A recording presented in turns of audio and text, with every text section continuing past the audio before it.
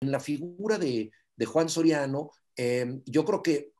aparece algo que también veo en otro artista de Jalisco, Juan José Arreola, que es esta capacidad espontánea de asumir distintas artes, ¿no? Está este autorretrato de 1953 en donde Soriano está identificado con sus propias manos como unas manos